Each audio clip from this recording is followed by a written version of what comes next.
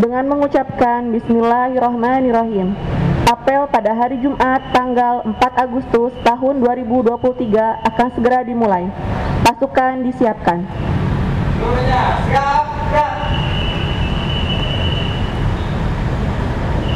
Pembina apel memasuki tempat apel.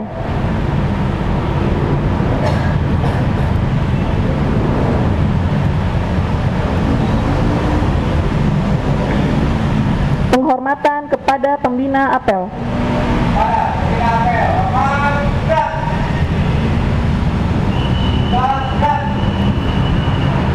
Laporan pemimpin apel kepada pembina apel.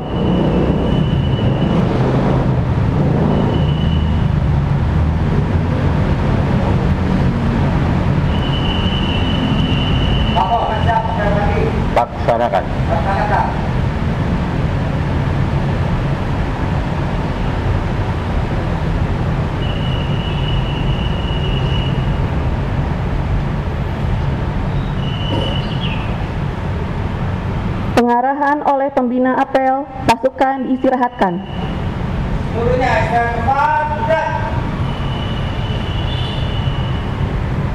Bismillahirrahmanirrahim. Assalamualaikum warahmatullahi wabarakatuh. Alhamdulillah wassalatu wassalamu ala Rasulillah.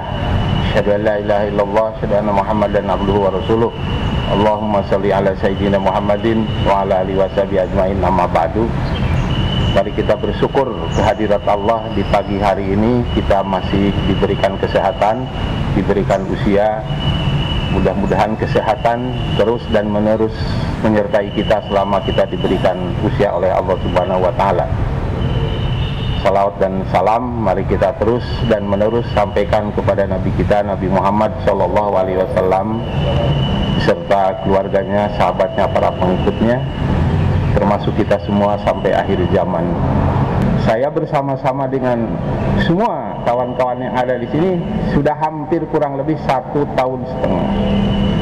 Dalam satu tahun setengah ini tentunya yang sudah mudah-mudahan menjadi bagian dari tanggung jawab kita ujungnya adalah menjadi ibadah apa yang sudah dilakukan.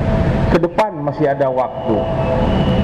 Tidak boleh kita lengah, tidak boleh tidak semangat.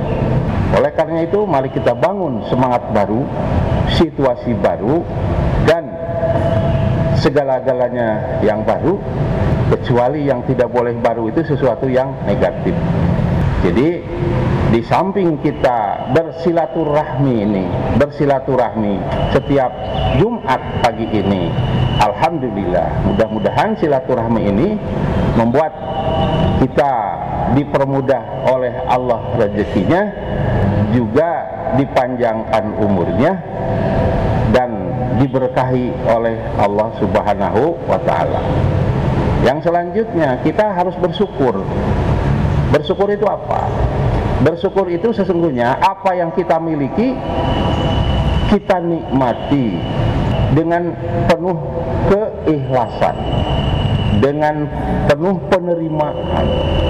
Kita boleh melihat di samping kita atau orang lain tidak seperti kita. Kita bersyukur yang ada. Jadi bersyukur yang ada, selalu bersyukur. Apa yang kita miliki hari ini kita syukuri. Dengan cara apa bersyukurnya? Tentunya dengan semakin mendekat kepada pemberi syukur. Siapa pemberi syukur? Allah Subhanahu wa taala. Insya Allah. Kalau kita bersyukur, kita selalu mengingat Allah secara lahiriah kita terjaga. Jadi mudah-mudahan pagi ini ya sekali lagi kita semua berkhidmat di sini sehat selalu, kemudian hatinya juga sehat, kita saling sapa, kita saling mengingatkan di antara kita dan teman-teman kita. Tidak ada lagi cara untuk berkumpul bersama-sama kecuali setiap pagi di hari Jumat. Tujuannya adalah untuk bersilaturahmi di antara kita. Ini satu kebiasaan yang patut kita pelihara patut kita teruskan. Sekian mohon maaf billahi fi sabilil haq wal afu minkum. Assalamualaikum warahmatullahi wabarakatuh. Pembacaan doa oleh pembina apel. Pasukan disiapkan. Mari kita sejenak melupakan hal-hal lahiriah dan kita konsentrasi kepada Allah Subhanahu wa taala. Mudah-mudahan niat kita, pekerjaan kita, istri, suami, anak kita dan siapa pun yang dekat dengan kita, kita memohon kehadirat Allah agar diberikan keberkahan.